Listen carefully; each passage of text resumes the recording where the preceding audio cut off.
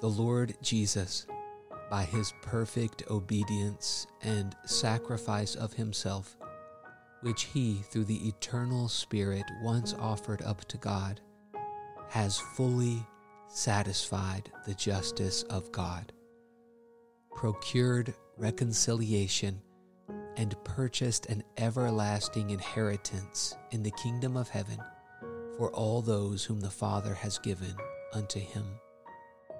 London Baptist Confession of Faith.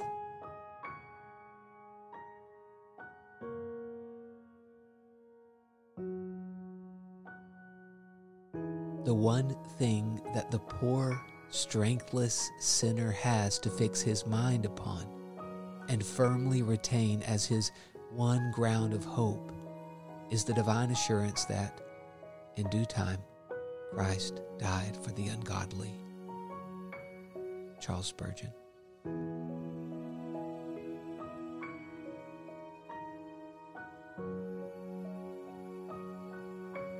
Now, may the God of peace himself sanctify you completely, and may your whole spirit and soul and body be kept blameless at the coming of our Lord Jesus Christ. He who calls you is faithful, and he will surely do it.